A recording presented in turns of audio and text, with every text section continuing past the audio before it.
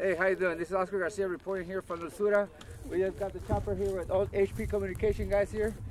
And we're glad that we're going to start finally put a post up. And get a round of applause to HP Communications. Hey! In the fire zone, baby. Hawk the Eagle. You know who the Eagle is. That's a goal, man. It's a go.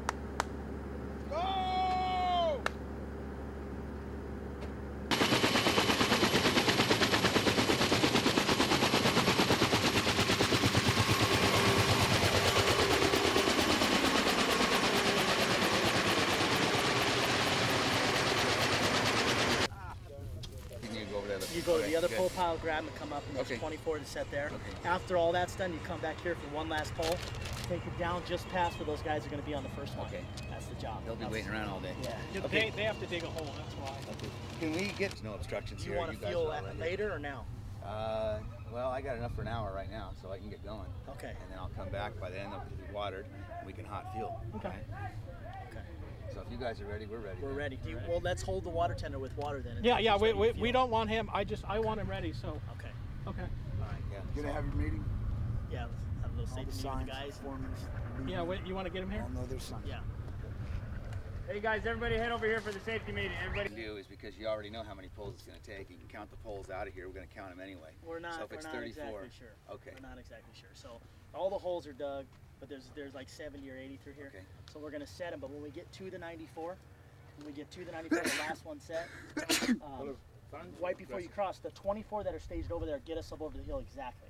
Okay. Okay. So those are exact. So once we get to the 94, the last one you'll set, you'll see the 94, and then that's it. Okay. There's there's three new poles and then the 94. So we're gonna set the last one. There'll be three right And how far from the 94 is it? It's probably about a thousand feet from the 94. There'll be three new poles, and then um, that that's it. And then the other pile will be over there, and that's where the exact count 24 up and over the hill. Those are the ones right there. That'll be an exact. So that'll be that pile will disappear completely.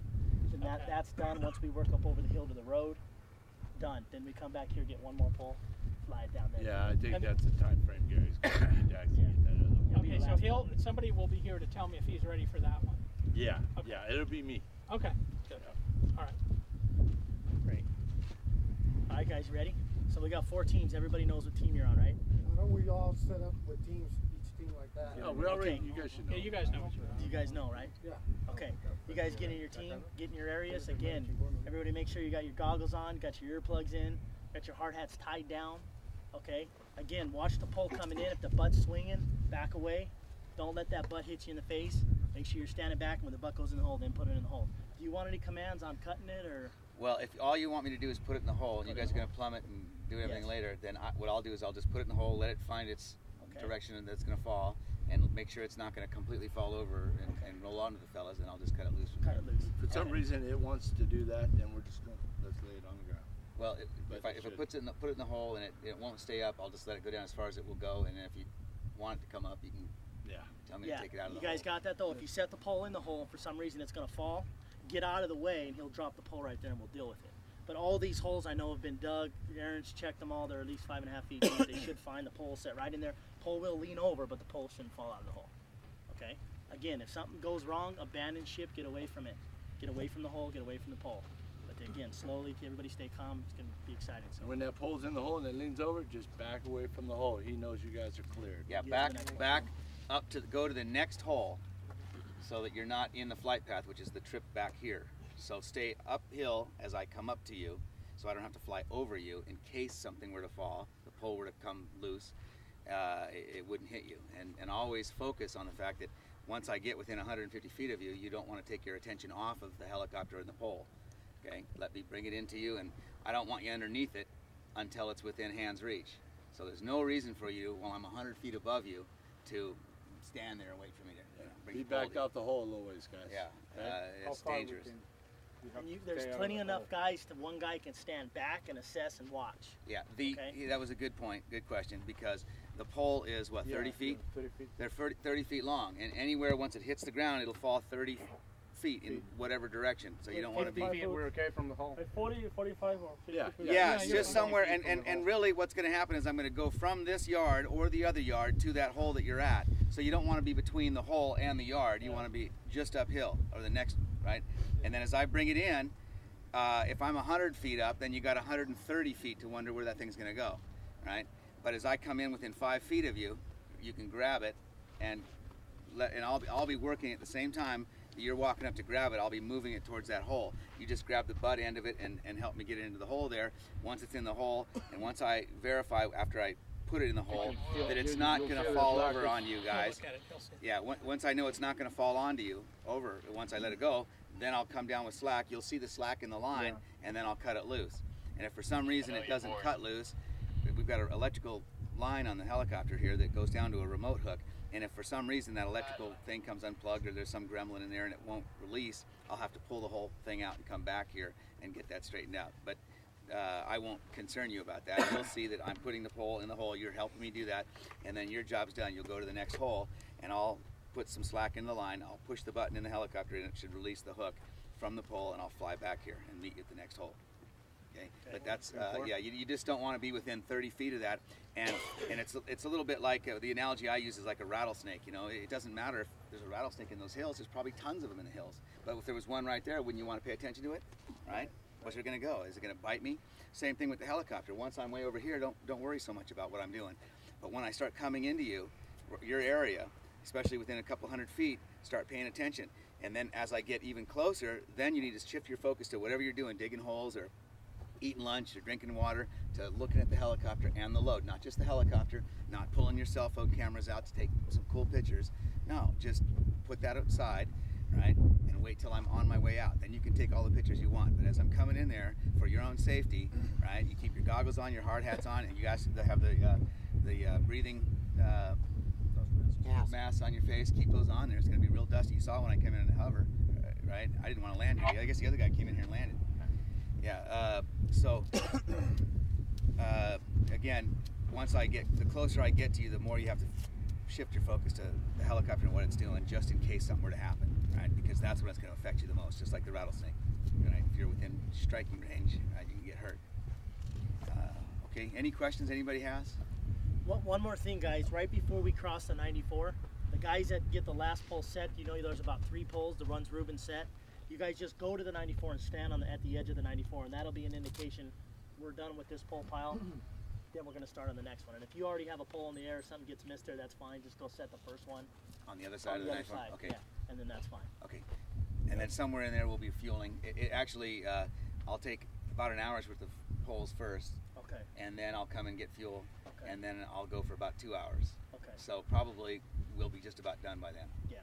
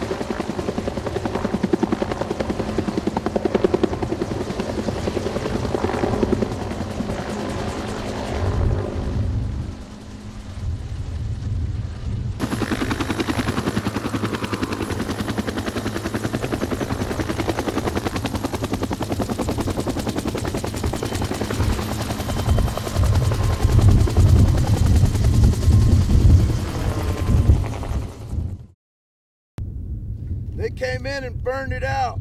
But the HP way, we'll have you guys back up. We promise.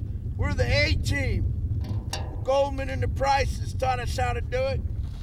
You burn them out, we'll come in and fix it. God bless HP Way.